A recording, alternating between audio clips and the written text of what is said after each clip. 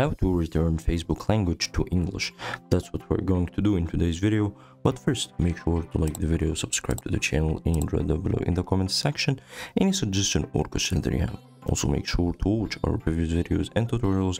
We have playlists sorted for each app and let's get started right away. So first thing to do is go to Facebook and now if you changed Facebook language by mistake just go by the same steps.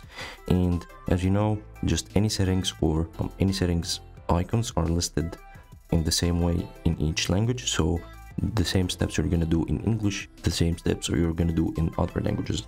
Click on menu now and we need to go to settings from the upper right here or just by clicking on settings and privacy and click on settings. Here are the settings and privacy. Then go to language and region as you can see the first option is the option that we need language for buttons titles and other text from facebook. Click on it and it opens for us the language for facebook from the settings. Preferred language and change it to any other language. Let's open facebook. And as you can see we need now to go and make it back to english. Go to settings and privacy here are the icons the same icons in other language just uh, as you can see here's language icon. Click on it and then click on the first option.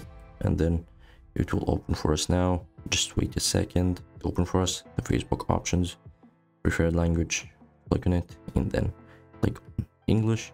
And let's get back to facebook. Here it is. As you can see it changed back to english. Hope you guys enjoyed the video. Don't forget to like the video subscribe to the channel and write down below in the comments section any suggestion or question that you have and have a nice day